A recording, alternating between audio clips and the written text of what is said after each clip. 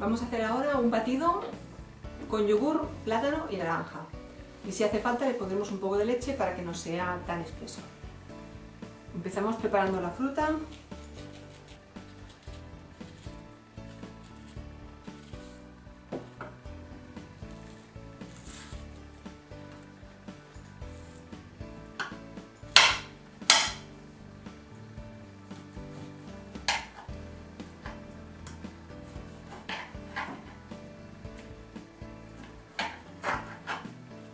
Empezamos ahora con la naranja.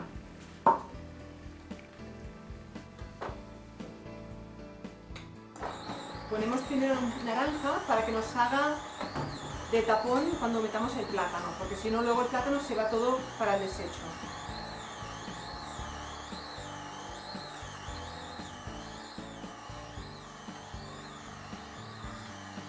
Pondremos el yogur ya.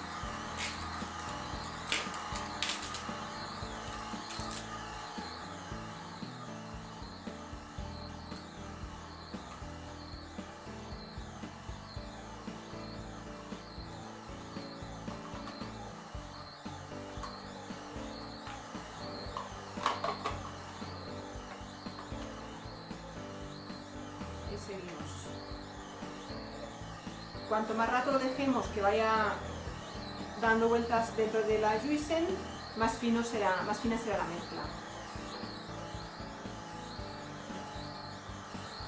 Si nos parece demasiado espesa, le podemos añadir un poco de leche.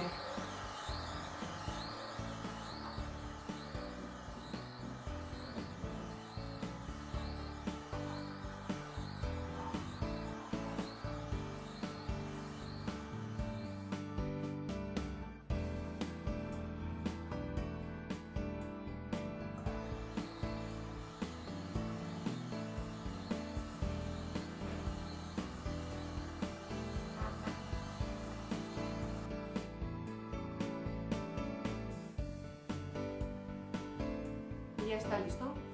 Batido de plátano con naranja y yogur.